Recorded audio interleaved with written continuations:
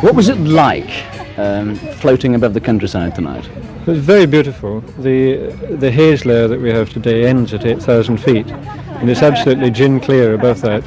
The the sun is just a single light in the sky, and the clouds underneath are white and snowy. Difficult to convey it in words, but very pretty.